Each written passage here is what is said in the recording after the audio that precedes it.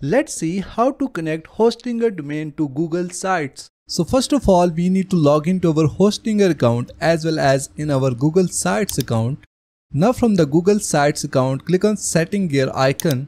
Now click on custom domains from here. Now click on connect domain. Now we need to add our domain name here. So we will go back to Hostinger, copy our domain name from here.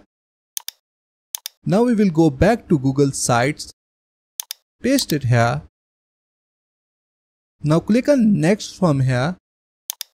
Now we need to update the DNS records of our domain at Hostinger. So Google site is asking us to add a CNAME record for our domain name. So we will go back to Hostinger dashboard. Now click on manage from here. Now from the left menu click on DNS slash name servers. Now scroll down from here and here you will see many DNS records.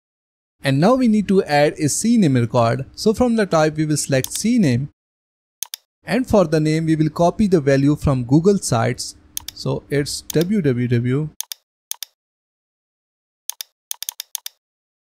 And for the target we will also copy the value from Google Sites.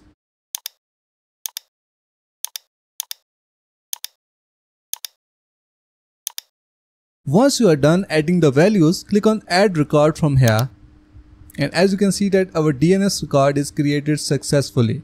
And now we will go back to Google Sites and then click on done from here. And as you can see that our Hostinger domain is now assigned with the Google Sites. It may take up to 48 hours to start working completely, but in most of the cases it start working within an hour. So this is how you can connect your Hostinger domain to Google Sites. That's it for today. Thanks for watching. Please like and subscribe.